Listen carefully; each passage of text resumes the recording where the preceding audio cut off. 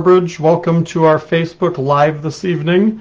We're going to give it a couple minutes to allow people to get into the event, and then we're going to get started. I'm going to show you guys tonight how to make the pumpkins that are behind me, and we'll show you different steps to do coil method, um, solid method, um, textures, leaves, different things like that. So um, I see people are coming in and saying, mystery box, and that's fine. We've got a mystery box tonight. I'll explain that in a minute once we get everybody in the room. Good to see everybody coming in already. Janine will be here in a minute, and she'll be marking everybody's names down that says mystery box. Our mystery box tonight is um, filled with all kinds of stuff that we're going to be using this evening. So that's the hint for tonight. Um,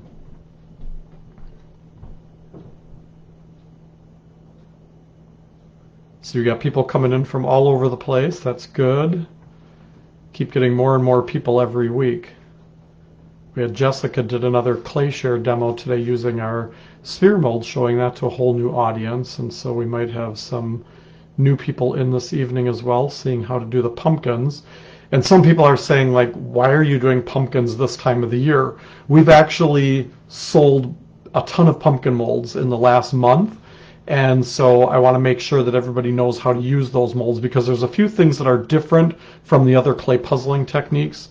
And so things like the stems and, and that are a little bit different when you're looking at uh, creating those. So um, we're going to give it just a, another minute here for everybody to get in and, and find the, the webinar tonight. I see some people are typing mystery box so fast that they're calling it a stereo box we know we know what you mean. Um, and Janine will be marking those names down. What we're going to do, so those of you who are new to our live events, we have a medium flat rate shipping box that we fill with goodies each week. And so if you type in mystery box, um, and we're going to take the names up until about 10 after 7 Central Time. We're on Central Time. About 10 after um, we're going to cut it off and we won't have any of, of the names. So Janine will be marking those down. She's going to put them on a slip. And the way it works is toward the end of the live tonight, we're going to draw a name out of that um, basket full of names. She's putting them on slips of paper. And then that person will have the opportunity to buy the mystery box for basically $50. It's $35 for the box and $15 for shipping, and there's usually over $100 worth of materials in that box. And so the hint for tonight is it has everything to do with what we're doing tonight. We're doing clay puzzling pumpkins, so that gives you an idea of what might be in there. Now, if somebody gets it and they decide that they really don't have a use for what's inside there, um, we're not going to force you to take it. What we'll do is, is we'll ask, you need to be here when we do the drawing and we'll ask if if the person who who gets that box and we show the contents, if they decide that they want it, they just type in that they love it and they want it, and um, we'll send them to our website to pay for it, and then we'll ship it out to them if they decide that they don't want it for some reason, we'll just draw another name out until we get somebody. I think we've only had that happen once that that we've had to draw a second name. So don't feel bad if you get it and we open it and you're like, oh, I don't I don't have a use for that, or I already have it. But some of the stuff that's in there tonight is brand new stuff that nobody has seen yet. Um, but we might be working with it tonight, so that'll give you an idea as well. So um, I see Somebody wants a Mystery Bob. I'm not sure who Mystery Bob is, but I'm sure Janine knows that that's supposed to be Mystery Box. So um, we got a, a, good group in here. We're going to get started. So if you didn't see the pumpkins, um, this is just one of the many techniques. This is the bark texture. I'll show this this evening. Um, you can take that same technique or really any of these techniques and you can, with the popularity of gnomes, you can put a gnome in there. We're not going to do the gnomes tonight. I do have a live recording that um, shows how to do the gnomes, and I'll kind of explain tonight what I did with the pumpkin and how you insert your gnome inside there. So I'm going to flip the camera down, and this will be my work surface here that um, you'll see where I'm, I'm doing the techniques. And throughout the night, um, we do these lives for free because we're not out doing workshops in person. Hopefully soon we'll be able to do that again. But throughout the night, we're going to show some of the products that we're using, and they are all available on learnfiredarts.com. And um, you can order them. And so the, the first item we're going to be working with, these are some brand new molds.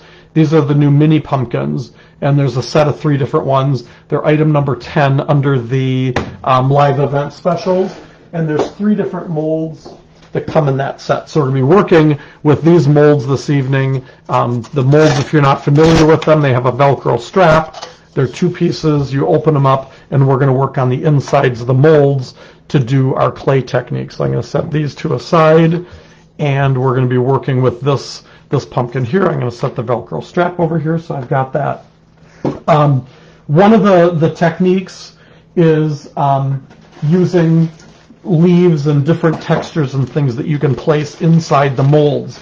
And so I'm going to be working with some of these rubber leaf forms, and I'm going to place some of the smaller ones inside of this pumpkin. Now the key, anytime, and it's, you know, this technique isn't just for the pumpkin molds, it will work as well for um, any type of, of the molds that we've got, whether it's vases or whatever, um, you can do the same technique. So a lot of times these recordings, whether it's a coil technique, a solid technique, whatever, you can do it with any of the forms. So the leaves have a textured side and they have a smooth side. When I lay these inside the mold, I want that textured side facing up. And the reason that I want that is because otherwise, um, when we put the clay in here, it's going to make the impression of a leaf, but it won't have the veining on the leaf. So I'm just going to kind of randomly lay some of these leaves inside here. I'm going to do three on each side. I'm going to set the rest of these aside. And yes, we do sell the rubber leaf forms on our website as well. You can use real leaves and you can use other types of things in here. What I like about these rubber leaf forms is they have some depth to them. So you'll see when we're done and we pull these pieces out of the mold, you'll see the, the how thick or how deep into the clay these leaves go. If you use real leaves from outside, you'll pick up the veining and things on there, but because they're not as thick, you don't get as defined of an edge on the um, leaf. So, and we're in Wisconsin right now. It, has been remarkably nice here over the, the past couple of weeks. We've had temperatures in the 50s and even into the 70s. Um, it's been raining here a lot, but we don't have any green leaves on the trees or plants or bushes or anything outside. So I'm going to be working tonight with um, a low fire um, clay that has a little bit of grog. And people always ask, well, what type of clay can you use with clay puzzling techniques? You can use virtually any type of fired clay. So whether you use a low fire clay body, you use a mid-range like a stoneware, um, or you use a high fire range of like a stoneware or a porcelain, you can use any of those clay bodies with these forms. These are made with earthenware bisque, they're cast pieces, and they will absorb moisture. So when we take the clay and we press it inside the mold. It won't dry and stick to the mold, but it'll pick up the, the form and the shape that we're working with. The reason I like a clay body that has a little bit of sand in it, there are smooth clay bodies and there are clay bodies that have sand and there are clay bodies that have um, grog in them. So grog is busted up fire brick and it's real coarse. And so when you take a piece of clay to tell if it has sand or grog in it or doesn't have anything in it, if you take it and you squish that between your finger, um, you can usually feel, especially if there's grog, you'll feel a real gritty feeling to it. With sand, it has just a little bit of a texture, and when it's a smooth clay, it's like squishing butter between your fingers if the clay is soft enough. The clay should be very flexible. You should be able to press your fingers into it real easily. If the clay is too dry and it's really thick and hard and you can't bend it like this, it's not going to work real well for the technique. So you need to get that clay soft or get some new clay. Um, but if it's kind of firm and you can't easily stick your fingers into it, there are techniques where you can put like some wet paper towel inside the, the bag and leave it overnight. Some people will slice it into thin strips and put layers of, of wet paper towel between the clay to soften that up. I always tell people if you have the bag of clay, poke holes with a screwdriver all over the bag, go as deep as you can into the, the bag and into the clay, and then dunk that into a bucket of water so that the um, water will work into those those holes in there and into those indentations, and um, it'll soften that clay up overnight. Then pull that bag out and leave it sit for a little while, and then you need to usually wedge the clay. Um, but but make sure that your clay is, is soft and pliable. You're going to tear off pieces, and I usually tell people you want these pieces to be at least the thickness of what a cast piece would be. Um, so and sometimes I'll go a little bit thicker, especially with these leaf forms, because they will if you press the clay and the, the clay that you start out with is real thin, um, your leaves might come through. So go a little bit thicker with this technique than um, what your you would what a cast piece would normally be. Probably double the, the thickness. And so the bigger the piece, the thicker these pieces of clay will be. I'm going to tear off pieces of clay and I'm going to flatten them out. And I usually make them big enough so that they cover pretty much the entire leaf. Because what you'll get anywhere that these pieces of clay meet up inside the mold, you'll get lines, and that's where the term puzzling came from. So I, do, I usually don't want lines going through the middle of the leaf, and I'll tear off pieces of clay and use them um, or press them first over the top of the leaves, and then I'll fill in the spaces in between. And this will give you um, a solid piece.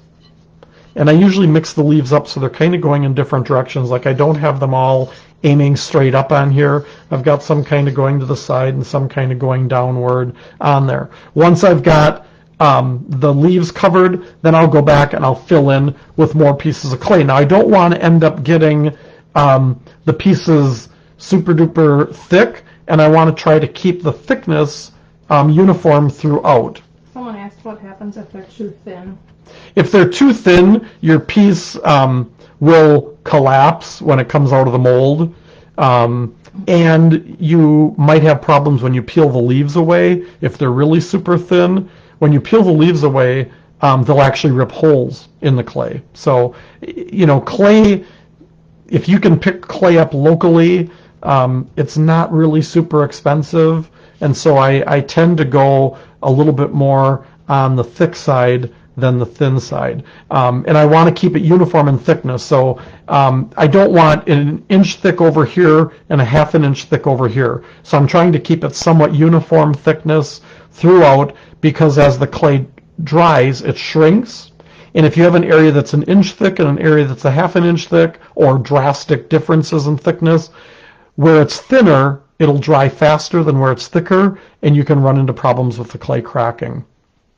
If you want to hang them with Edison light bulbs, what type of clay should I use? if you want to hang them with Edison light bulbs, so if you're making like a pendant light, I think I had mentioned in Jessica's um, workshop earlier today about making pendant lights with the, the spheres, um, you really can use any of the clay bodies because these clay bodies are going up to, when you're firing them, um, even the low fire is going up to over 1900 degrees. Your stoneware is going up into the 2000 degree range. Um, so really, any of the clay bodies will be fine with, with Edison light bulbs. The higher temperature, the, the clay that you go with, if you go with a mid-range, it's going to be more durable than um, a low fire clay as far as how strong the piece is, if it bumps something or bang something. But as far as the heat from an Edison bulb, any of the clay bodies really will work. Um, uh, there's a couple questions from a little bit ago, and you might have even talked about this. Do you have the extruders in stock now? Yes, the extruders are finally back in stock for those of you that have been waiting for those to come in. They are available and we've shipped, oh gosh, I don't even know how many we've shipped out in the last week, and we've got um, orders still going out through this week. We're hopeful that by this weekend, um, if we keep working 24 hours a day, we'll have all the orders out. And when I say 24 hours a day, it's literally been like 18 hours a day um, packing stuff. So, but yeah, the extruders As are far back. as um, orders go, can you offhand remember if all the ClayShare orders have shipped? No, they haven't. Um, there are some like the rubber leaf forms. We've got our last shipment of those coming in this week.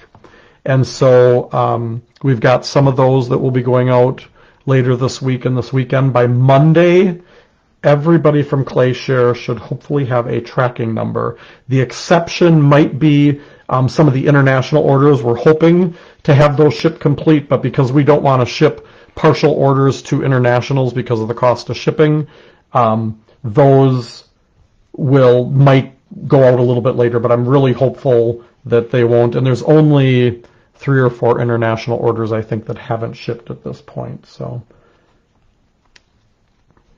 we appreciate everybody's patience on it. We've had a, a lot of orders in the last month. Hmm. So on this one, I already did this. I kind of smooth the clay out. Everywhere that I press the clay in here, I can see lines where those pieces of clay meet up. So what I did is I kind of took my fingers and I dragged across on here to kind of mash that clay together because normally you would do scoring and slipping as you would um, put two pieces of clay together. But because we're pressing it against that bisque form, we can press really hard. And what I want to do is I want to drag and just really mash that clay together so I don't see where those pieces met up and I did that on both sides. Now, you got to remember, you've got those rubber leaf forms under there, so the reason I press really hard as I do that is I want that clay to get pressed against those leaf forms and really pick up all the details. If I want, I can go back over, and a lot of times in workshops, I just use dry washcloths, and I'll use that and go back and just press it and make sure that, and, and so you can see the texture as you press that towel and you know that you've pressed everywhere in the mold when you see texture all over on that clay. And that will ensure that you've got um, it pressed well so that you are picking up those leaf impressions in there. All right. Now to add, oh, a question. Orders, the extruders aren't still on sale though, right? No, the extruders are not on on sale. Um, unfortunately, the shipping on those, because on a fifty dollar order, um, the shipping is free. Um, on the Shimpo, the Nidec extruder, it's free anywhere in the U.S. On the uh, Kemper extruder, the gold one, it's free um, only in the U.S. 48. Unfortunately, Hawaii and Alaska, we can't fit those in a flat rate shipping box to be able to offer free shipping to Alaska and Hawaii. I just had a, a, an order last week that um, was going to Hawaii, and it was it, it was less than five pounds, and it was like a 12 inch by 12 inch box, and it was and it was maybe a 50 60 dollar order. The shipping was going to be like eighty dollars on that. If we fit it in a medium flat rate box, it's fifteen dollars roughly for shipping, and that's why with Alaska and Hawaii um, we we try to do the anything that'll fit in those those flat rate shipping boxes. Before I put the molds together, I want to remove any clay that sticks up above that seam line. So I'm just using a ribbon tool. You can use a, a needle tool or anything to run along the edge of that mold, scrape away any clay that's sticking up above. If you don't do this step and remove that clay, when you put the mold halves together, you're going to have clay oozing out the sides and the mold won't fit together nice and snug. And before I put them together, I'm going to add a coil of clay. And so you can, you know, hand roll a coil. You can use um, an extruder to do a coil. It doesn't need to be a perfect coil because this is just going to be extra clay that we're attaching going around on just one half of the mold, not on both sides, just on this one half. It doesn't matter which half you do this on. We're just going to add that coil of clay because what it's going to do is when I put these two mold halves together, I need to have some extra clay there to squish up and attach it to the other side. If I don't do this extra coil of clay, there are little areas along the edge where the clay might not go up to the edge. And what will happen is without that coil there, I'll be dragging clay from one side to the other and it'll create a thin area on that one side. So I want to have that extra clay to be able to fill in that gap where there's. So as I flip this over, um, I, I usually wrap my hands around so that this clay doesn't flop out and it, it probably, of course, now when I want it to, it won't pop out. Um, but sometimes on especially bigger pieces, as you flip them over, and if it takes you longer to do your puzzling in there, the piece can get a little bit dry and it'll want to flop out. So I usually wrap my fingers around to hold that clay as I turn it over so that it doesn't flop out from uh, the one half. And then the Velcro strap that comes with it, I um, put that on, and then I kind of hold with one finger here, I hold that strap nice and snug, and then with my other hand, I bring this one up and I pull it over and wrap it so that it attaches. Now, on the inside, it's really hard to see in there because it's dark, and so we're going to use, and I can't get my hand inside these mini pumpkins. On some of the larger ones, if you have small hands, you might be able to get your, your fingers inside there. We've got this handy dandy little press tool. There's a light on here, and there's a ball end. There's a bigger foam ball end on this one. Because this opening is smaller, I'm just going to use the wood ball. And if I can, you can kind of see in the camera as I put this down there, you can see where the tip of the tool is with that light. And so I'm going to go in and I'm going to squish that coil over onto the other half of the mold and attach those two sides.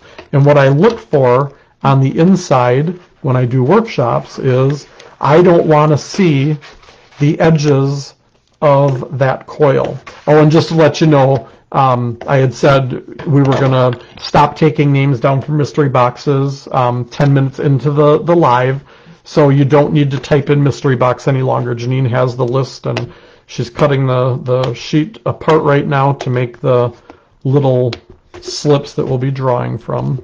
There's a couple questions. Mm-hmm. Um. Okay. What? Well, what is your opinion of the mini extruder?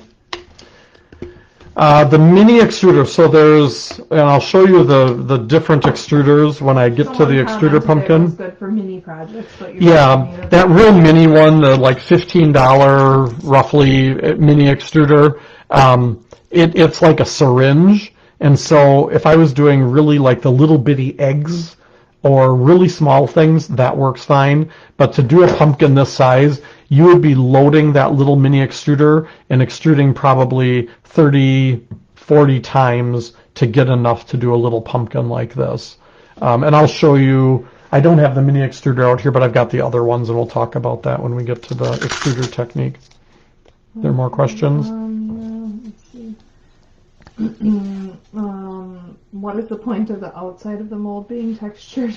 This just happens to be that the, the mold itself has a texture on it, and you'll see on the inside, you do get a little bit of that texture on the inside of the piece. Most of the molds are real smooth on the inside, but some of them do have a little bit of texture. okay, and then the last question is, and someone else answered it, but well, first of all, one person did say that these free lives actually cost her more money. True, yep. Um, and then um, sometimes you run a coil around, and sometimes you do a loop. When do you do which? Yep, and so on the solid technique where we're doing something solid like this, that's when I use the coil going around. The loops are done when um, I'm doing Loose. the coil or the extruder technique. Or the open ball. Yep, the open, That's what yep. Carol Warnicki, she could, she could answer questions for you. Yep, Thanks, that's Carol. good. And I know I, Carol messaged me right before as I was Oh, setting up for this And um, she said questions and tell you she was sorry she forgot about the live. No, that's she fine. said she could go broke from your free lives. Yep. So Yep. Um, so yeah, and I'll get back to you later, Carol, to answer your questions. So one of the things with the, the pumpkin molds is the stem on these. You don't need to go with the clay up into the stems. We're going to actually make stems separate on here. The inside of the mold gets so small where the stems are that um, it, it doesn't it doesn't really leave you much on there. But sometimes when you go to pull the mold apart, that clay might be caught in there a little bit, and so the mold doesn't want to pull apart. If that happens, and this is where the pumpkins are a little different from all the other shapes. Normally, I avoid pushing the clay up into that area, but I did it on this one, and once I take it out, I'll show it to you. But if you find that it's catching there, and as I try to pull this apart, I can see the clay inside there, and I pushed it up into that stem. So what you can do is you can take like a wooden tool or a, a popsicle stick, and you can kind of go in there and just press that clay down, and it might kind of, as you open it up, it might rip a little bit of clay off on the top of there. But you can see what happens on the top. And don't worry about that because we're going to make a stem that goes over the top of that. On the, the piece itself, you can see all the lines where all the clay pieces met up. That's the puzzling. It looks kind of like a jigsaw puzzle. And you can see your leaf forms. And at this point, if you don't see the smooth side of the leaf when you open this up and you see the textured side, you put the leaves in the wrong way. If you did that, it's not a big deal. Peel it away, place it back over it, put it inside the mold, and repress it with the tool on the inside. You should see that smooth side showing when you take that out of there. Um, on smaller pieces like this, I can just roll this mold over and usually just give it a, a little bit of a wiggle and that pumpkin or the piece will come out of the mold. Normally I would feel the bottom to see how squishy it is.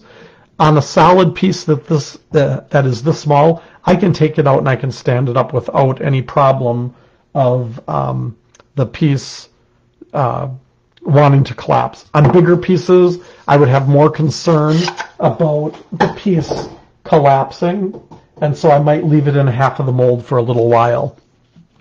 Now where the seam line was on there, um, you'll usually get kind of a more of a line showing than you may want. You can use a wooden tool, you can use a metal rib, and just kind of go along that seam line. You can smooth out some of that clay that's um, kind of a little bump on there, and then I usually just kind of use my finger to drag across and smooth that out. I don't, and any of you have taken workshops from me, you've heard me say a million times, I don't put water on the tables because most people have a tendency to want to dip into the water and they get their piece so wet that it's so soft and it wants to collapse. After this is dry, you can always go back with, with a wet sponge and smooth out imperfections on here. If I didn't want these puzzle lines on here, I would press that much harder when I put the clay in. The harder you press, the less lines you'll have showing. Then I'm going to take, I'm going to get a drink first. Um, someone who has an international order in Canada that hasn't shipped is wondering if it's too late to add on. They can still add on to it, right? Yeah, just send me a, a private message, and um, I know there's No, it's an there's one order sitting up there right now. I know that's going to Canada. That's going to ship later this week, and there's one or two other ones here. So And then somebody asked if the hand extruders are on sale. I don't know if that means the. Yeah, the you talked about the extruders right now. Um, we bought every single extruder that Kemper had. You can't even we can't even get any more of those, and we we have very few of those. And Shimpo, we just got a lot of extruders, and they just got another shipment in. And with the free shipping, the the extruders are basically at retail, um, and then you get free shipping because they're over fifty dollars if if you're ordering them in the U.S. Um, so the, the rubber leaf forms, I'm just going to use a needle tool from a basic tool set. And what I want to do is I want to pick up just the edge of the leaf somewhere and I want to just pop it out and pull that out and you get that nice impression in there. so I'm going to pull out all the leaves. Now I do this after I do any smoothing. I smoothed out my seams on there. Um, I leave the leaves in until I'm done doing that so that there's less chance of me messing up um, the leaves with trying to scrape away clay and smooth out and, and eliminate imperfections. And the rubber leaves come in all different styles and sizes and shapes, and I'll show you. We have an assortment, um, and they're sold individually as well. So that gives us our pumpkin with our leaf impressions. Now we're going to set this aside.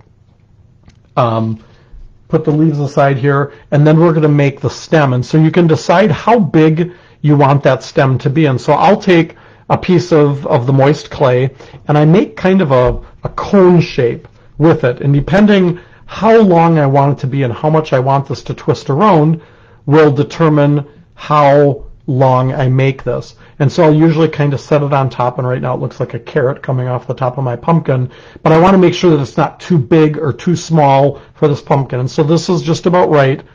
On the, the bottom part that's going to attach to the top of the pumpkin, I want to kind of pinch this out. So it's kind of like doing a pinch pot, where you just kind of, I'm taking my thumb, pressing into the middle, and on the outside, my, my index finger and my naughty finger are kind of pinching as I work my way around opening this up. And what I want to do is I want to taper this edge of the clay so that it gets real thin on the edge and that it's not super thick on the inside. And this will kind of, this indentation in here will kind of go over the top of this here.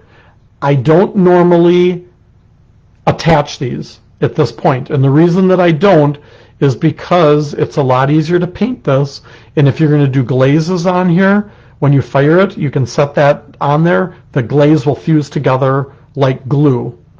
Um, if you're going to do it with acrylics and stains, um, you can just glue those on and let it dry. It's a lot easier to paint if you don't attach the leaves and you don't attach the stems. So some of you might be thinking, well, if you attach that on there, you might get air trapped in between if this isn't real snug on there. That's another reason that I don't slip this and attach that on top of it. I'm going to take, to add texture to my stem, I'm just going to use, again, a wooden sculpting tool, and there's lots of different shapes and sizes that come in, you know, pottery sets, and I look for something that's got kind of a, a sharper edge on it, and I'm just going to take and scratch texture into my stem. And these lines are going to be kind of straight, and then we're going to give it a little twist that's going to make it a little more gnarly looking like a pumpkin stem that's kind of twisted and If you do glue them on, what type of glue do you use? I tend to use like a, a silicone or an E6000, um, something that's kind of a thicker glue that's like a silicone based glue um, because I can kind of goop it up on the inside here and when I put it on there it's going to attach. If I use a glue like say crazy glue or super glue that's usually really fluid and sometimes when you set it on there it may or may not attach on there where that thicker glue or even an epoxy would work really well on there. Someone asked, is there a risk of it sliding off in the glaze fire? Well, if it was like off to the side, there would be a risk of that. These stems are going to sit right on the top. If you're concerned about it sliding off, just fire them separately and glue them them on after. But generally, on, on pretty much all of the pumpkins, they sit right on the on the top. The most of the glazes and things, and I should I shouldn't say they don't flow because some stoneware glazes and crystal glazes and things will flow and move in firing, but there usually isn't enough movement that this is going to slide or move. When you set that on there, it's kind of contoured to fit the top of the pumpkin. It's very unlikely that that's going to slide off. But if you're concerned, then just fire it separately. Now, once I've got this textured, I'm going to give it kind of a twist and so it kind of gets more of a gnarly texture that the stem looks like it's kind of twisted, and then I can take and just gently kind of bend this and curl it around. I don't want to just take it and bend it because I'll snap it off, so I just kind of gently, a little bit at a time, kind of twist it so that when I set it on top of my pumpkin, and I'm, I'm kind of pushing this down on there to make sure that it fits well all the way around and looks like the pumpkin grew out from that, that stem. Now, if you want to make dimensional leaves, you can use real leaves. You can use the rubber leaf forms. And there's all different types of leaves. The ones that don't work real well for making dimensional leaves are the maple leaves. And, and they will work, but they're a little more challenging because you've got these openings that go real deep in there. Um, sometimes they get a little heavy on here, and these kind of want to break off because it gets real narrow there. These work great for doing impressions in the clay. I love the maple leaves, but for making dimensional leaves that are going to come off of here, I, I usually tend to avoid those because there's plenty of other leaves. There are actual pumpkin leaves, there are oak leaves, there's um, dahlia leaves, there are um, Mum leaves are really good. I love the mum leaves on the fall pieces. And a lot of times I'll do a little bit of a mixture of different leaves on here. And then there are just plain traditional, they're actually lemon leaves. It doesn't look like I actually have any of those here. I may have been out of them the last time that I was using these.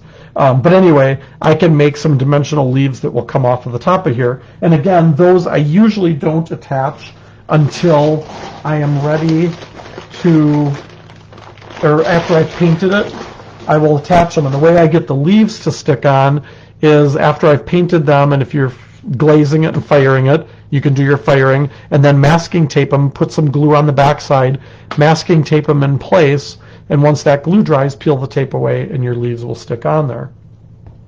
To make actual dimensional leaves, I'm going to take and flatten out some clay. Again, I probably want to go about a quarter of an inch thick with this, even though um, it, uh, I just totally lost my, my train of thought. Even though, oh, I know that I, I want the leaf to look thin. I don't want it real thick and clunky. But if I make this clay too thin, I mentioned earlier about with your pumpkin, if you make the pumpkin too thin, when you peel the leaf away, it could rip a hole in the pumpkin. The same thing can happen here. Do you have some questions? Um, someone was wondering if they stuck a toothpick in the, in the stem, if it would. Oh, if it if you put a toothpick into the clay to hold the stem in place, it it it would, but at at some point during the firing, the wood of that toothpick, when it gets hot enough, is going to burn up and turn basically to a powder, and um, then your your stem and your leaves are are free range on there. Um, and then someone was talking about if they need to bring what tools to bring for retreat, but that's You don't need to bring anything for retreat. We have everything for you. Just bring yourselves and an appetite and um, boxes for and packing materials if you're taking your items home. If you're flying in, we'll ship the items back for you. You don't need to bring boxes and paper on the airplane. Someone wants to know the approximate size of the leaves. So the leaves- next to your hand. Yeah, the leaves range from, I've actually got a tape measure here because somebody always asks about the, the Size of dimensions of something. something, so I keep a tape measure handy. And on the website, it'll say the dimensions of the leaves, but they'll range from um, about an inch and a half up to about five to six inches. I think this oak leaf is the longest one. And then there are bigger leaves, but in the small assortment, um, the biggest is going to be that oak leaf, and you'll get you know leaves like this that are a little bit wider, and there's just a really good variety of, of lots of different leaves, and they're reusable forever. I've never worn a leaf out. All right, so once I've got that, that clay about a quarter of an inch thick, then a lot of people will take a needle tool and they'll sit there and they'll they'll cut around the edge, and that's fine. Um, but it usually puts cut marks in my foam mat that I'm working with. So in workshops, I tell people just take and peel away that excess clay. The majority of it will peel away, and then you're left with this really thick, clunky looking leaf. And you know, if you put that on on top of your your pumpkin, it's just going to look really thick and clunky. But you need that thickness on most of the leaf so that it will peel away easily. So to to make it look the illusion that it's a thin leaf, I use my thumb to kind of bevel the clay just on the edge of the leaf. So I'm kind of pulling my thumb, pushing down and out, peeling just the edge of that away and beveling it. So it's still thick in the middle, but it gets thin on the edge. I leave it thicker at the stem of the leaf so that I've got something to grab onto, and then I can grab that rubber leaf and I can peel that away and I've got this nice dimensional leaf that's thin on the edge but nice and thick and durable in the middle. Then I'll kind of set that against the pumpkin and I can just have that leaf going straight down. Whoops. Some of them might go straight down, but then there are others that I'm going to take and I'm going to kind of bend them so they look like they're kind of growing out and then they might bend a little bit like that. So you can kind of make them so they're a little bit wavy and not just so straight and flat. And then I'll just take those leaves and set those aside. I fire them separately, paint them separately, and then, like I said, tape them on later. Because if you go and you score and slip a bunch of leaves around here, imagine how challenging it's going to be to get behind there oh, when you're painting. So that's why I, I do it separate. Plus, just picking up and moving them and loading them in the kiln and handling them, it's a whole lot easier to do this. And so in a workshop, if you're if you're teaching classes and you're like, oh my gosh, how am I going to keep all these leaves straight? You know, they can take and carve their initials in the back of the leaf, or what I usually do is I give them a board or a surface to put all their leaves on, and then when I fire them in the kiln, I lay all the leaves right around their pumpkins, and sometimes I'll lay like a post between them so that I know all of these leaves go with this grouping of pumpkins and all of them on this side go with that grouping of pumpkins. But you can make a variety of different leaves that will go around your pumpkin and, and make them all so that they're, you know, a little bit different so they're not all just perfectly flat looking leaves. And I usually make a few extras so that if I drop some or sometimes you start gluing them on and, and you get a little carried away with putting the leaves on, I always have extra leaves around. So that's the basic technique for the leaf technique. The next one that I want to show you is the, the bark technique, which is what I did on these pumpkins. And this texture not only works on the pumpkins, it works on the, the spheres, it works on vases. It gives a really cool, cool texture. And you can see the leaves on top of this pumpkin, how I've got them a little wavy. They're not all just flat. You can see how the stem is kind of gnarly and twisted around on there.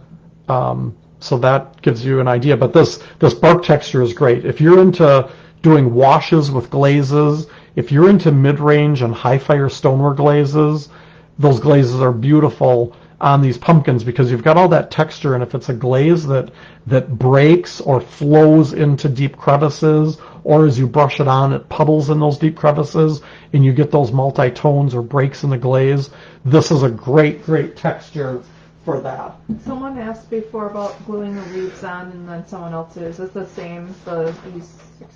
Yeah, like the E6000 is, is a great thing, or any silicone, thick, a thick, clear drying glue like that. What is the finish on that pumpkin? You showed that bark texture. That bark texture is actually um, dry brushed with acrylics.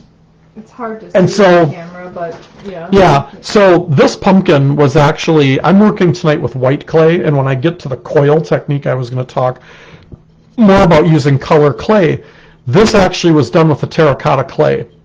So on this technique, I didn't have to, if this was done with white clay, I would have had to have base coated this with a darker color and then done dry brushing with the acrylics, the Softees on here.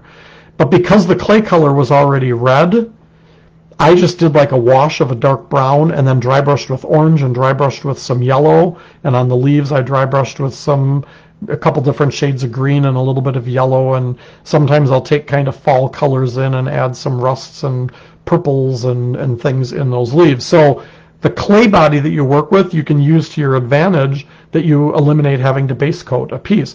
And with the coil technique that I'm going to show after the bark technique, um, that's really nice because the coils of clay, if you want to paint the inside of the piece, and somebody was asking me earlier today about painting the inside of a piece, um, if you use red clay, all those coils inside are already red. And so you can dry brush the outside of those pumpkins. If you're doing um, shows and selling finished pieces, it makes it so easy to do those because that red clay is already basically base coated and all you have to do is dry brush some orange and some yellow and you'll have a really cool um, color combination on those pumpkins. Now, if you want to do fired finishes, you could do that same bark texture using um, washes of colors on there. Um, you could do, you know, solid glazes. You could do some layering with different glazes on there. Um, and don't just think of pumpkins as orange. Um, you can do pumpkins that are blue. You can do pumpkins that are purple. So look at some of those stoneware glazes and stuff that have really cool breaks in the in the glaze, and um, you can do all kinds of combinations of colors on here. Does Duncan or Mayco now still make their wood glazes? No, those wood glazes like the the they were like a matte glaze that had chunks of like darker glaze chips basically, and there was kind of like a crystal glaze, but the crystals weren't hard; they were soft, and so as you brushed them on with a fan brush, those dry chunks of glaze that were wet would kind of streak on there and give you kind of a wood look. But oh my gosh, those have been gone for a long time. Those were cool though. Um, what cone are you firing to if you're only finishing with acrylics? If I'm finishing with acrylics, I'm usually working with a low fire clay body, and I'm probably firing that to cone 04. Um, if I'm working with stoneware mid-range glazes, I'm still firing the, the clay pieces to 04, and then I'm doing my glazing probably to cone 5, cone 6. If I'm going real high fire, I might be going all the way up to, uh, you know, cone 8, cone 10 for that glaze firing. what I'm doing is I'm, as I'm talking here and answering questions, this is part of a bark texture pad. We've had so many orders for these that I'm working with one that I had actually dropped at one point and broken, and it it still works fine because um, it has this texture. And so I'm just taking pieces of clay and pressing them randomly on here to um, to pick up this this texture on here. And so this is basically ceramic bisque, and we have um, an oak tree that has really cool bark on it, and we actually press slabs of clay against the tree, and um, it'll uh, get that nice texture on there, and it works great for doing this technique. Janine just had to step away, and um, so Cameron is here now watching to see if any questions pop up on here. But I'll usually do a whole bunch of pieces of clay like this, and I'm just tearing them off, pressing them to pick up that bark texture. And then when I lay these inside the mold, what's different with this technique is I'm going to have the texture side of that clay facing away from me, and I'm going to overlap these pieces just a little bit. And I'm not going to press real hard because if I press real hard, I'm going to lose my texture that I just put into them on the bark texture pad. And some of these too will stick up a little bit, where the other technique we took a tool and scraped those away. On these, we want some pieces to stick up because we're not going to do a coil, and I'll kind of explain that a little bit more. Um, so now to attach these, obviously I need to squish them together, but I don't want to press. So what I'm going to do is just take my finger and I'm just going to kind of drag where those pieces of clay meet, and I'm just kind of squishing that clay together without pressing down real hard because I don't want to lose that texture. They got a question? Oh, I see one. Maybe it's not popping up for you. It is on my screen. Do you sell the tool you use that cuts the clay?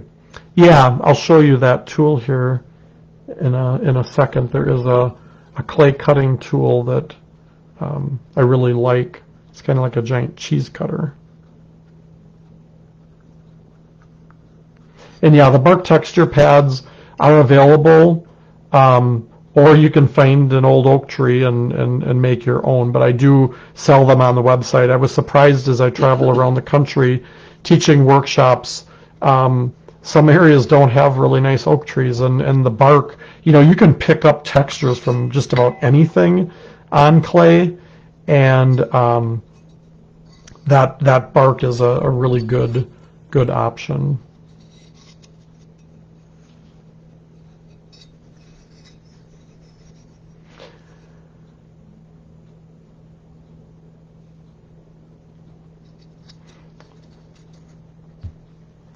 I see there's a, a, question about if we sell clay, and um, we do. Um, I usually suggest that people try to find clay locally because if you can drive and pick the clay up, um, it's going to be cheaper than having it shipped.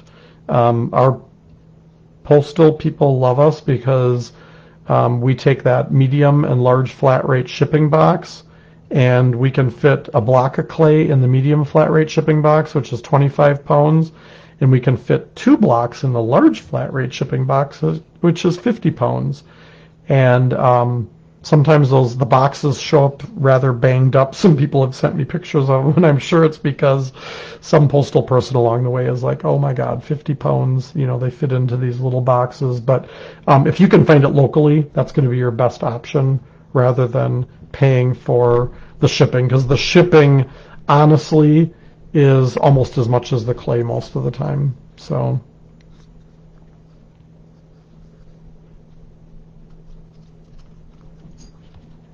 Someone asked if you ever go to Brickyard Ceramics I do. Yep, I've been to Brickyard. Um, unfortunately, last year their open house got canceled with COVID, much like many other things last year that got canceled.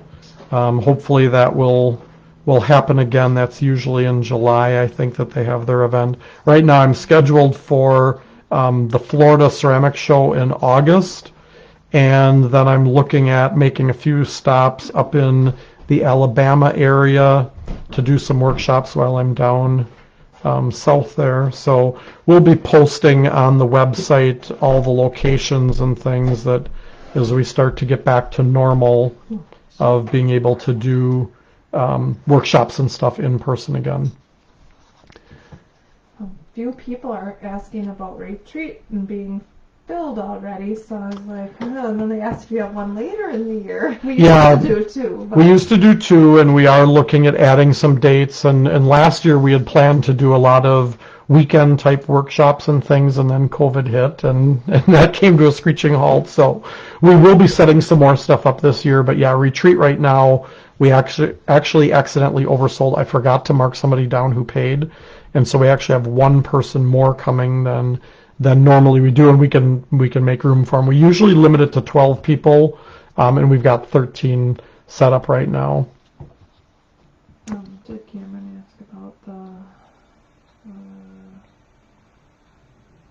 I see there's a question about NCECA next year. yeah. I hope to be back at NCECA next year. Um, that usually is something that we really prepare for. I see Waukesha show.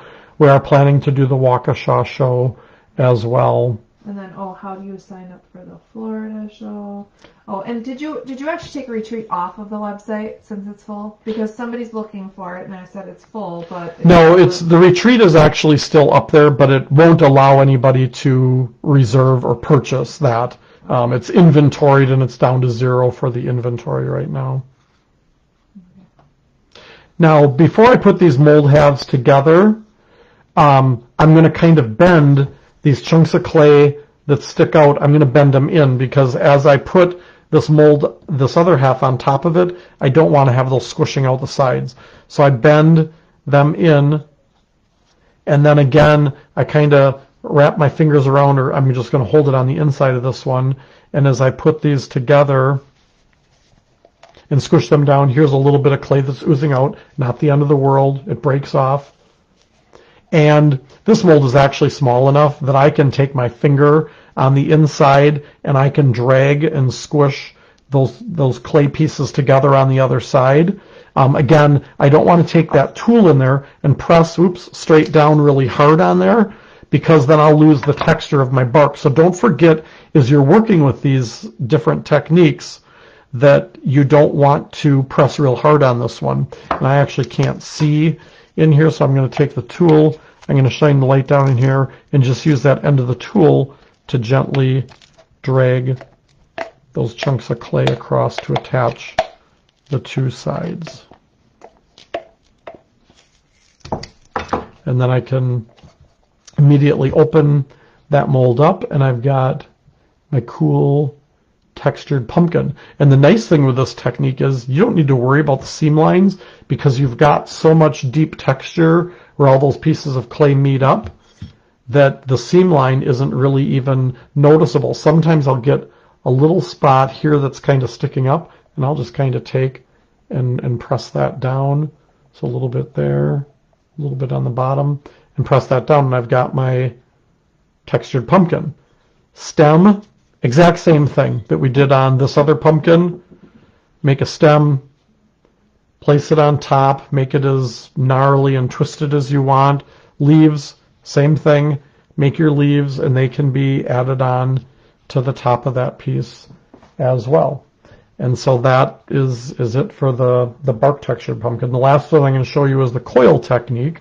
And we're going to do that in the third small pumpkin. This one out of the way. Do you ever do custom molds for potters, or possibly offer that as an option in the future? Um, I don't do custom molds. I mean, if you have an idea of something that, you know, you want a clay puzzling mold, um, that might be a possibility, but, um, I have a hard time keeping up with making the molds for my clay puzzling molds. Some of these are commercial molds, but a lot of them we actually make the molds for. And there are some that I have ideas in my head that I've had in there for over a year now. Um, so I just don't really have the the time to be able to um, do custom molds. But um, Petro Mold does custom molds. Um, trying to think, there are other people out there, and I'm totally brain dead right now of who else is out there. There are others out there that do custom molds as well. When are people going to be able to start signing up for the Florida show? And do you know what you're going to do? I don't know what I'm going to do yet. We haven't thought Um, it's in it's in August, and right now I'm trying to get through next week of getting all these orders out. And once that's done, then I'll get more than four hours of sleep a night, and I'll be able to Mm-hmm. actually get that figured out. All right, so this is uh, Oh. when do they like put that available to sign up? Is that It, it'll actually, it'll be on my website, and if you are on my email list, if you get emails from me from learnfiredarts.com, um, you'll get notifications when those are set up, and we'll have all of the Alabama stops on there as well. Will be will be on that list, and anything else that comes up, we'll we'll have that on our website. The show itself doesn't handle the registration for workshops. So we've got a couple of different um, extruders. So this is the one, this still has the, the Shimpo name on it, and Shimpo is um, also known as Nidec. And so, whoops, I lost my slip here that was on here. So the, the new ones, this one I've had for years that I've used, and the new ones have the Nidec logo. It's the exact same extruder. It's a different sticker on there. And so this extruder is um, the shorter one. This one will ship anywhere in the U.S. This is number eight on the live event specials, and it's $64.95, free shipping anywhere in the U.S. because we can fit this in a flat rate shipping box. It comes with an assortment of dies.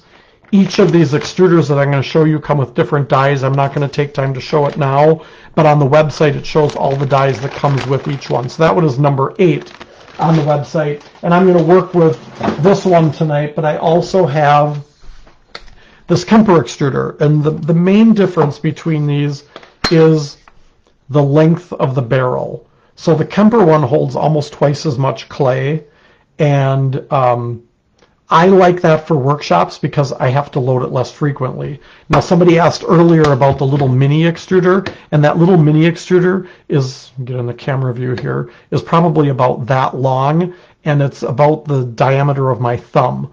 And so it holds so little clay that to do a pumpkin like this, I don't remember how many times I said, but you probably would have to load it 50 times to get enough coils of clay to do that. So I recommend one of these. Be careful. There are a lot of knockoffs of this Shimpo extruder on the market. I've gone to studios and taught at studios, and they're like, "Oh no, I've got extruders. You don't need to bring extruders." And I go to use their extruder, and the, the triggers on them, I don't know what happens, but you can squeeze and squeeze and squeeze that trigger, and clay does not come out, or it comes out at a snail's pace. Um, so be careful. There are, are knockoffs that look like this. They're silver, but they are not. A lot of them aren't as good a quality. Can you kind of go over some of the orders from late February that haven't shipped yet? What because there's a lot of people asking. So the orders from February that you have not received yet, everybody should have a tracking number by Monday. We're down to the end of the orders and they will be shipping out by Monday. You should get a tracking number. And if you put in an email address, it, it's kind of crazy some of the stuff that's come up.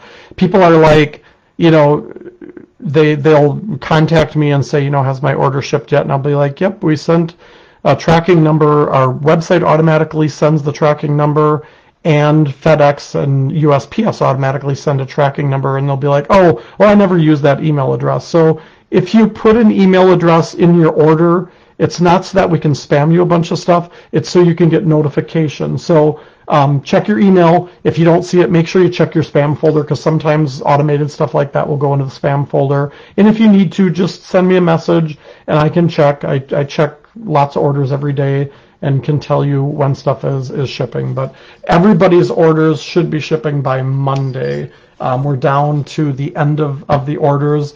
The orders that came in on the 23rd and the 24th, um, there were close to a thousand orders. And normally in a week, If we get 100 orders, that's a lot in a week. And then every day that followed, the 23rd and 24th, there were hundreds of orders that came in every day after that. And we've had hundreds of orders coming in every week since then. Um, so we're, we're almost caught up. And Grateful for all the orders. yeah, but it, it, it's been overwhelming. And so, you know, we, we, we thought about hiring more people to help. And the worst time to hire people is when you're slammed and you don't have time to really train them well. And the packing of the orders right now, if you could see this room, there are boxes everywhere with orders that are just waiting to be packed. The molds have to be wrapped multiple times. There's lots of packing material and things that go into it. And the packing is what's taking the most time. And so um, when I looked at the orders earlier this week, I'm like, okay, if if I keep working from six in the morning until about one in the morning or two in the morning, I'll actually get all the orders out this this week. And Janina's working hard too on it, and and so we we should have them out. And I, I apologize for the time it's taking, but it's kind of very unusual the amount of orders that we've received, and and we'll be caught up this week. So There's a quick question about extruders. Do you or are you going to carry any extruder dies for hand? I don't know. It says does for Probably dies, yeah. Yeah, dies for handles. Not the straight, but the ones that are a little fancier. Yeah, I've had requests for that, and I've actually got um, a customer that has a 3D printer, and I have to get with him and get some samples of different handle dies. He said he can do just about any design. If somebody has something that they want that's really unique, and there's a shape that you want, um, he can he can make dies for us. So um, just message me if there's something in particular. But that is something we plan to add to the website at some point. Someone wanted to know if you're going to still do lives after you're traveling more, and I said no. Janine's telling me no. she was like, "Well, you did them a few times a year when you were traveling." Yeah. It depends on his schedule. Yeah, it depends on the schedule. Um, so I'm going to work with the shorter extruder. The triggers on these are basically the same. Um, there are, like I said, different dies that come with each one. You'll see those on the website. Um, as far as squeezing the trigger, some people have a harder time if their hands aren't real big or they don't have strength. I get a lot of people that say, you know, I have a hard time squeezing this trigger. So what I recommend, if you find that you have a hard time gripping this and squeezing it, is put that extruder so that this plunger, this is the thing that, that as you squeeze the trigger, this moves in and pushes the clay out the other end. So if you put that down on the table, you can bring your whole hand and you can push down on that and you can get really good leverage. Sometimes instead of sitting, if you stand up, you can really put some good pressure on there and the clay will extrude out the end. I usually put my hand around the end of this so as the clay comes out, it doesn't get caught on the edges and break on the extruder. It will um, kind of come over my fingers and it, it tends to not stick on there. So just put that, whoops, put that down on the table and you can get really good leverage with your whole hand rather than trying to grip and squeeze like this. So the length of the tube, the only real difference is you're forcing a little bit more clay through this Kemper extruder.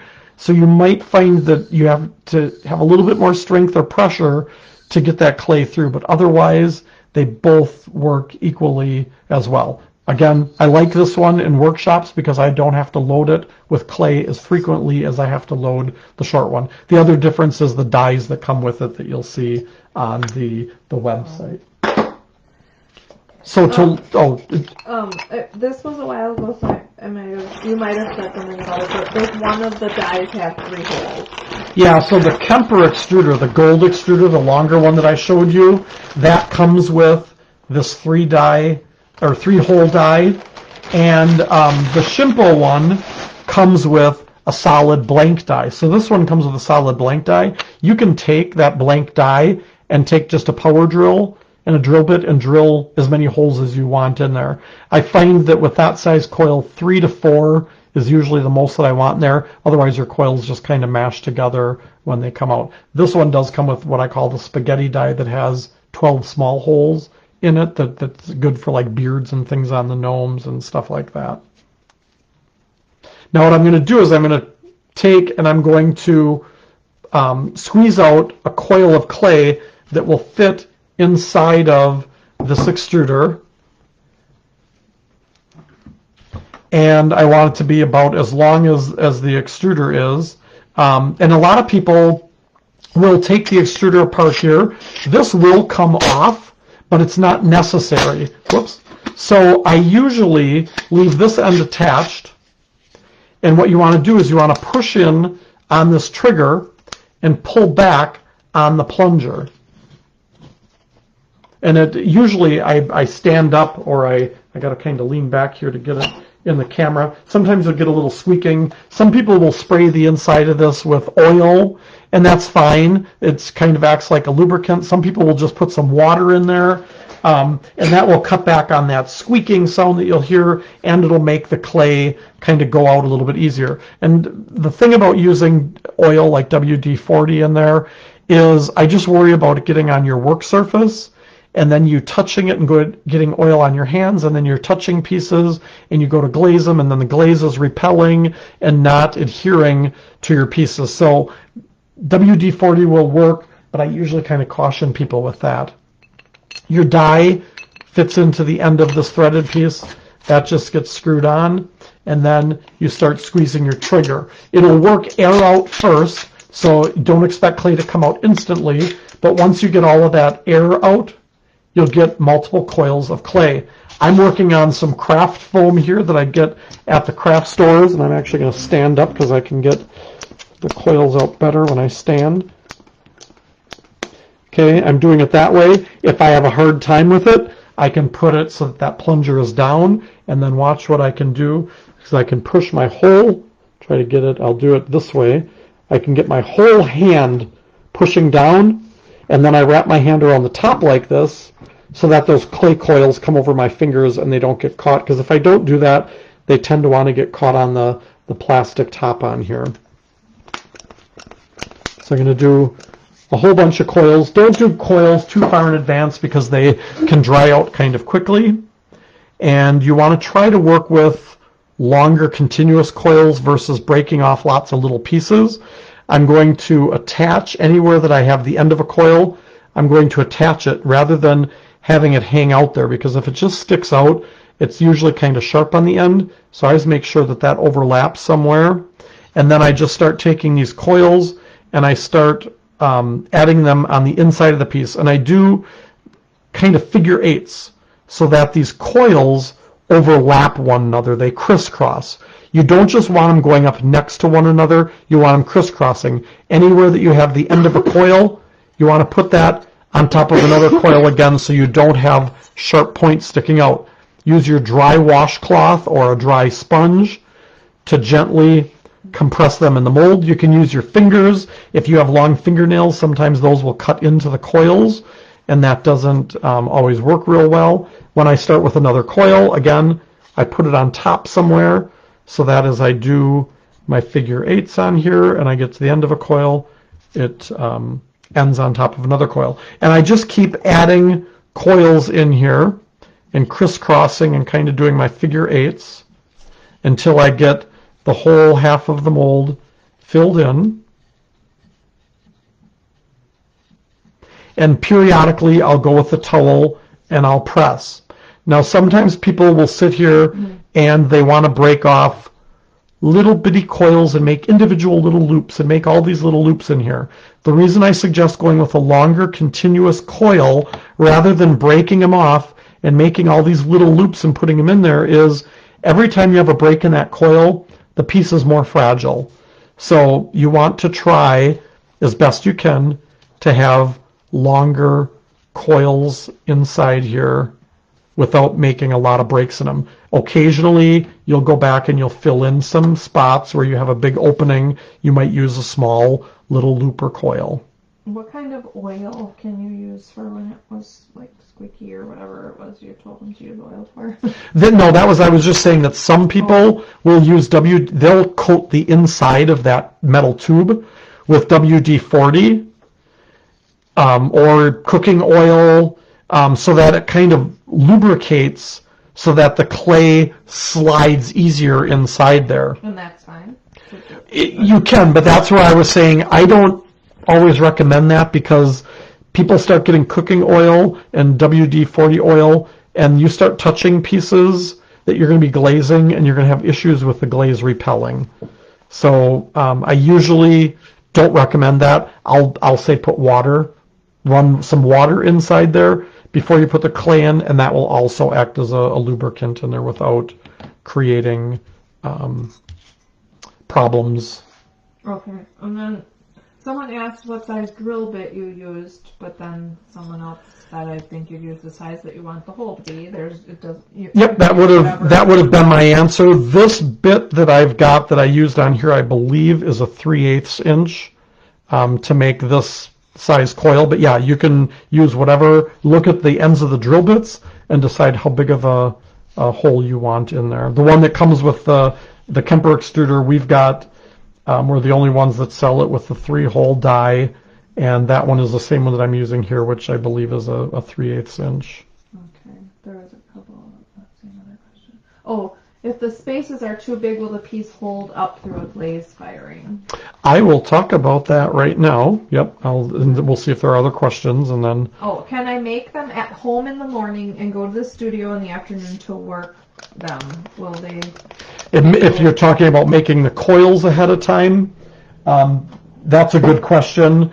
Um, one time I thought, oh, I would do, I was going to be doing a workshop, and so I took a plastic garbage bag and I put it out on a board and I extruded all kinds of coils inside there. And I thought, I'll be ahead for making coils in this workshop. Well, by morning, it was like the, the moisture inside that plastic bag had just pretty much it was so wet inside there that the coils were all sticking together. So um, if you're talking about making the coils and then kind of working with them later, I don't recommend that. I usually kind of extrude what I'm going to use within about five minutes um, because if it sits out, and especially if you've got like air vents and air conditioning or heat blowing, fans blowing, those coils will dry out pretty quickly um, if they're sitting out for too long.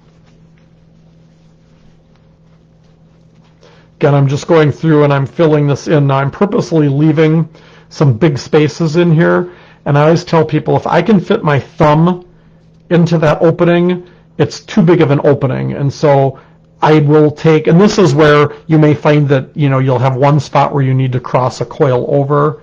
Um, so I might, this is a, a case where I might just break off a little piece of coil and run that across and press that to fill it in. You can also look for on pieces, sometimes you'll have long, narrow openings, so your thumb may not fit in it, but if it's a real long, skinny opening, you'll want to have some coils crisscrossing. And the reason you want to do that is it's going to add stability to the piece. If you have really big openings in here and you take it out, that piece is going to be really, really fragile. Um, on the other hand, if you make this almost solid that you don't see any white openings in there, you're going to still see the coils. You just won't have as many openings in there. So sometimes people freak out and they're like, oh my gosh, I got too many coils in here and I can't see any space. When you take it out of the mold, you'll still see the lines of, of the coils in there, so don't panic. Now before I do the, the final step before I put these together, I want to add some coils on the very bottom of the piece because if you picture taking this pumpkin out after you've done all your puzzling and you put the halves together, um, these little individual coils on the bottom are going to be fragile. When you go to stand that piece up and it's dry, those coils might want to break off. So I usually on the very bottom of the piece, I will run some coils kind of back and forth on there to cover about an inch, which on these pumpkins it happens to be like just the, the basically the bottom of the pumpkin. And so I'm basically filling that in, I'm pressing it, and that is going to add a lot of strength to the bottom of this piece so that I'll be able to stand it up. To squeeze out a few more coils here for this other side. I'm going to do the same thing on this bottom. I'm going to add some coils just going back and forth. I'll press those with a towel. Now, here's where it gets different with the coil technique versus with the, the leaf technique or the solid technique. We put a solid coil of clay inside that one half to squish back and forth. On the bark texture, we let pieces of the bark texture stick up so that we could squish those together to attach the two halves. Well, on this piece, we don't want to put a big thick coil in here and then squish that over to the other side because then you'll have this solid strip of clay all around on there. So we're going to create loops to attach the two halves. And with these loops, especially when they're narrow coils like this, again, I want to try to do kind of a long continuous coil. And on one half of the mold, and I'll hold this up so you guys can see it in a minute, on just one half of the mold, I'm going to create these loops that stick up. And I don't want them to go more than an inch high, and I'll show you in a couple minutes why that, why I say not to go more than an inch high. Um, and again here, you could sit and, and break off all these little loops and do individual ones on there. But if you have a longer continuous looping coil, it's going to be stronger than a bunch of little individual coils. Do you make these with both low and mid fire clays? Oh yeah, yep. You can do it with low fire and Oh, mid fire and, okay. and high fire if you want. Just try to remember to restate my question. Oh. Yeah. So um, and you, I mean, you kind of stated it in your answer. yeah. Um, is one clay better than the other? Well, your stoneware clays are going to be more durable than a low fire clay. So th- with the coil techniques especially, the hotter the clay goes, the stronger that clay is going to be because stoneware clay bodies and porcelain clay bodies vitrify and they close up so tight and they're not porous like an, an earthenware or a low fire clay body is. So they will be more durable if you go with a higher higher temperature clay. Now those little loops, and, and again, I only did it on one half of the mold. The other half is just sitting there. Don't do these loops. A lot of people make the mistake of they're working and okay, you've got your first half of your mold, you're filling in with coils, and then they'll add the loops to that half, and then they'll grab the second half of their mold and they'll start doing their coils in there. Don't put the loops on that first half that you did. Put the loops on the second half. And the reason I say that is because I mentioned before how quickly these coils can dry and firm up. You need to be able to take and bend these inward so that when we put this mold together, those coils won't get caught in between the two halves. And they need to be bent in far enough to compensate for the thickness of the clay on this half. So as I put them together, I don't want these loops getting crushed and bent and pinched. So I need to bend them in so that they're almost aiming inward. And I mentioned earlier that you don't want to make these taller than an inch. And the reason is because if you go real high with these, when you bend these inward, they get kind of top heavy and they want to break off and fall into the middle. So if you if you find that they're breaking off and falling in, then you probably have gone too high or you didn't press those tight enough as you attach that on there. One of the reasons too that I use a towel in workshops, and I'll see if it'll show up in here. You can see the texture on the coils in there. So what I look for when somebody says, okay, I think I'm ready to put my mold halves together, I'll go over and I'll look for areas where I don't see texture and I'll go like this and I'll see a spot that's smooth and I'm like, right there, that's not pressed hard enough. I don't see texture in it. And so that towel textures and it compresses those coils. Normally, again, you would, if you were attaching two pieces of clay, you would use slip and you'd score. Can you imagine doing that with all of these connections everywhere that these coils overlap? You don't need to do that um, because the towel will compress it. Now, as I flip this over to put the two halves together, I'm going to have the one that has the loops sitting down, the one that does not have the loop sticking up, because that way, again, I can wrap my fingers around it. So as I place that on top, the coils won't flop out. And as I set it on there, I pull my fingers out. I can put the Velcro strap around this. And then I can take my tool onto the inside, turn my little light on here, and I can go, I got this other strap from this other mold is sticking here, and I can go down inside. Now, I don't want to drag the tool across the coils. I'm just going to take it, I'm going to press those coils where they overlap onto the other side. I'm just going to press those hard enough that they attach to the other side. You don't want to drag this tool in this technique. On the solid technique, you can drag the tool, but on the bark technique and on this one, you just want to kind of work your way around and press it. And then I can take and I can remove the Velcro strap, and I should be able to wiggle this, open it up, and I've got my coil pumpkin. Again, watch the stem on there. If this wants to hang up and not pop out, just take a, a wooden tool and kind of dig in there and pull the top of that down if it got too far up inside there. And on here I can, normally the coil pieces I would leave it in half of the mold, especially if it's a bigger piece. This one is small enough that I can pop it out. Um, and then I'll just go along and anywhere that there's a little clay that got caught in the mold, I can peel that away. I can take a needle tool or a metal rib and I can kind of cut away any clay that kind of sticks up on there. Um, there usually isn't too much.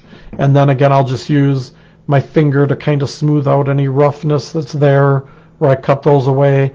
I'm not using water on here at this point. After it's dry, I can do that. If the piece is bigger and it's really squishy, just leave it in half the mold. Um, you can open it up, leave it in half the mold sitting, it'll be fine. Most pieces, if even if you leave them in there overnight or for a week, they will shrink and they will pull away from the mold so you don't have to worry about cracking. There may be some pieces that are vases where it may get wider and narrower and flare out around that neck of the vase. If you leave it in there too long, it could crack as it dries. So look at the mold before you leave it in there too long um, and just kind of pay attention to that. And on here too, it's the same thing with doing the, the stem. I don't want to push this one down and, and fit it on here too well, but basically your stem would sit on top of there and your leaves you would make um, to put on top of there as well. So that is the, the basic coil technique. Are there any other questions? All right. So I just want to show you a few of the other things. I showed you guys the, the Shimpo extruder. We've got the Kemper extruder, whoops, is item number nine. And that one is $64.95. That one is free shipping in the US 48. Hawaii and Alaska, we can't ship this one for free. That one, we've got lots of these in stock. We still have a, I think a half a skid of them sitting um, upstairs. We've got the, oops, the rubber leaves. I just dropped one out of here. Flung it around. Um, the rubber leaves, we are waiting. We have another shipment of these coming in, um, but we should have all of these back in stock soon. There is an assortment. Number six is the assortment, and it has the mum leaves, the lemon leaves, the grape, the maple, the oak, the dahlia, the, I think maybe I said the mum, the pumpkin leaves, um, there's strawberry leaves, there's grape leaves, and that assortment, and that one's on sale for 75. That's item number six. Or you'll find item number five. We just numbered all of the small leaves, the individual ones. They're $12 a set, and there's usually three or four leaves in the individual sets. Like this one is the, the lemon leaf that I call the traditional leaf because it's just kind of a plain leaf. There's four different sizes that come in that one, and they're $12 for that set. Or you can get all of the small leaves for 75 for that assortment. We also have um, different dies for the extruders. And like the dies that come with the Shimpo extruder, if you buy the gold Kemper extruder, but you like some of the dies that are with the Shimpo one, you can buy a set. This is the whole set of all the dies that come with the Shimpo extruder. They also have, you'll see some other dies on the website. This one is a kind of a cool thing that, that Shimpo came out with. They're different dies, and there's a cap that goes on there. There's usually four different shapes on there, there, and then there's a cap that covers up three of them so that you only extrude one of those out. Um, you'll see those on the website. You'll see blank dies. If you want a bunch of blank dies to drill holes in, you can do that as well. How long is the sale? Usually the, the specials are up there for two weeks. And so for the next week, they'll be numbered, the numbers that I show you. And then next week, the like number one, two, three, four, five comes off of there, but they still stay in the, the live event special section. You'll find the press tools. We've got those on there as well. Um, I don't have this one numbered, but you'll find that in with all the clay puzzling molds that we've got the tools and they come with the light. Um, we did have a lot of people order. We have a 36 inch one of this. The only time you would need the 36 inch one is if you buy the big floor vases. We have big floor vase molds and you need that longer handle. Otherwise, this 18 inch handle is sufficient for any of the other mold designs. We had a lot of people order them in the last month and I think everybody that I've talked to is like, oh yeah, I didn't need that that big um, that big long one. So this is I'm actually going to flip the camera up here to show this. This is um, a brand new mold. This is a new jumbo pumpkin. This one is item number four, and it's on sale for $59.95. It's normally $79.95. And this one is a really nice pumpkin, and it goes good. I'll show you the, the assortment that this one goes really well with. Um, but it's kind of a, a narrow, but really big in comparison to this other one, our traditional pumpkin.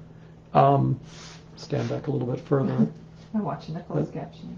Oh, uh, yeah, the closed It's captioning can be. It's It usually really pretty good. pretty good. But th- that this pumpkin, the new one, goes really well with this set of three, and this is actually happens to be item number three on there. And this one is the traditional pumpkins, and they run from twenty nine ninety five and up. You can buy them individually, or you can buy the set of three.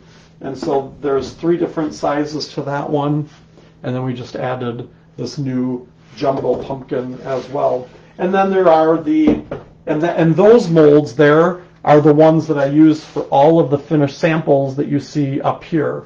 And then there's the slender pumpkins. There's three different sizes of these slender pumpkin molds. This is the medium. There's a large back here, and then the small. And that one is item number two is the slender pumpkins, and they run from $34.95 and up, and they're also available in an assortment as well. Um, so those are all the, the items that we've got um, this week. You'll see other stuff in the website. Somebody the other day said to me, and I, it kind of cracked me up. I was like, oh my gosh, I didn't realize, but I saw why she thought it. She thought we only had the event specials. And so she never, on her phone, it's kind of different how you get to the different tabs on there versus when you're on the computer. So there, there, there's a whole bunch of stuff on there. There's colors. There's we're going to be adding kilns, pouring equipment. Um, there's slab rollers, the extruders. There's Mayco, pretty much their entire line. We're slowly getting all of the colors added. We have most of their colors in stock now, so you'll find lots of different stuff on the website. So it's not just the specials. There's a lot more on there, and and any order over fifty dollars, um, free shipping in the U.S. 48, free shipping to um, Hawaii and um, Alaska if it fits in any of the flat rate shipping boxes. Um, we're also going to be doing FedEx has a flat rate shipping box as well, so we're looking at those right now too. So, um, did we have any other questions? Otherwise, we'll move on to the mystery box. Everyone's ready for that. All right, so we got the mystery box here. Janine's gonna hand the little Halloween bucket. I had to go with a, a bigger container to um, put the names in. I'm mixing them up here. I'm not looking down at them. Make sure we mix them up, and I'm gonna pull one out. And it looks like we've got Sherry, I'm gonna say Auger. I think Sherry was in another workshop earlier today as well. So Sherry, let us know that you're still here. Just comment in there. I'm going to flip the camera back down and we're going to open this box up and show you what is in this box. Someone said when they type the letter L into their Google search, Learn Fired Arts is. I guess that means re- remember. Yeah, Tanya, you've been there a few times. Well, I told you that it would probably have to do with what we're, we're working with tonight. And so inside this box, you get the set of the three new smaller pumpkin molds. Um, they'll also come with Velcro straps for each of the pumpkins. So you get all three of those. And then you'll also get um, the Spectaclear. We're adding all of the, we've had a lot of people, the Stardust I've shown several times in the live events. This is the one that's like sparkly glitter. It's a fired glaze. And they have other um, Spectaclear colors. There's peppermint that's like a red and a green speckle combination. There's autumn, which is kind of oranges and browns, and I think there's a little yellow speck in that one. And then there's celebration that kind of reminds me of like Mardi Gras. It's got purples and I think yellow and maybe some blue specks in there. I can't remember. Um, and so there's a four ounce bottle of each of those in this assortment. And then you also get a lot of you, when I did the eye workshop, um, the eye kits came with the um, 10 liner brush, We've since added, we've had a lot of people saying, oh, do you have one that's even finer than that? So we've now added um, a 20 aught liner brush. So you get a sample of the 10 aught and the 20 aught. Here, and I'm going to hold this against this pumpkin because it should show the difference in the tip. So this smaller one here is the, the 20 aught versus the 10 aught. And you can see there is a difference. The 20 aught is a little bit finer than the 10 aught, a little bit shorter than that. So you get a sample of each of those. These are um, Moderna brushes. They've got acrylic handles, so even if you leave them in water, they're not going to swell up and, and peel and have flaking paint like wood handles. Great for doing line work, design work, outlining eyes, lashes, things like that. They're awesome brushes. I think Sherry likes it. All right, Yes, thank you. that's good. Well, congratulations, Sherry, and Lots of people were congratulating her. Lots of happy. That's good. I know everybody would like to win a to, to get the mystery box, and so um, what Sherry, what you're going to do is go into the Learn Fired Arts website, and item number one under the event special section is um, pay by dollar amount, and so you can go in and just it's basically set up as a one dollar item, and go in and put change the quantity to fifty and it'll ask you to enter your information and credit card. You can pay with PayPal, however you want to do it, and then we will get the shipped out to you. If you want to add anything else to it, you can order other items as well. So um, I think that's that's all I got for you guys tonight. We we managed to get done in an hour and a half. That's pretty good. Yeah. Now we can go eat supper. Um, so if you Are hearing me gone next week? Yeah, so if you do have questions, you know, feel free to message me. Um, the comments sometimes on these posts get to be so long, and if you guys like comment within comments or you respond to somebody, sometimes it's really hard to track those down. So if you have a specific question, it's probably better to private message me um, to get an answer. And some days I get hundreds of messages, so if I don't get back to you immediately, don't be offended. If you don't hear back from me within a day, you might want to just shoot me another message. I try to keep track of them, but in Messenger, um, messages can get buried really easily when a lot of stuff comes in. If you email me, it stays in my inbox until I respond to you, and then it gets taken out of there. So email info at claypuzzling.com is probably the best way to, to get an answer um, from me on stuff. Now, next week, we're going to be gone. So there won't be a live event next week. I hope you guys will survive. from Florida? No, I'm not going to do it from Florida. I thought about maybe going in and just, you know, doing like a question and answer type thing, but I don't want to guarantee that it's and that I'm going to be there right at seven o'clock to do that. And I'm probably going to be sitting on the beach somewhere sleeping, trying to catch up on sleep. So. Fall asleep. Um, yeah, I, I did one time. I was on a trip and I had a, a day in between teaching workshops, and I went and sat out by the pool at the hotel, and it was in it was in Modesto, California, in the summer, and it was hot. And I sat down in the lounge chair after I came out of the pool. You know, you're a little chilly, and I just sat down in the lounge chair and I was going to dry off a little bit before I went in and I fell asleep and a few hours later I woke up and I was a lobster and I had to go teach a workshop the next day and I could hardly move so I won't let that mistake happen again so um, thanks for joining us tonight you guys I will see you in a couple weeks when I get back from that trip. Um, I'll be only home for a, a day or two but we're going to be doing um, clay cottages. We're going to be doing some really cool things and and I'll be posting some stuff with pictures and that of of the things that we're going to do. And you can do you can make them into bird houses and little fairy garden houses and things like that. There's lots of cool stuff that we can do. So I look forward to seeing everybody again in two weeks. Take care and, and thanks again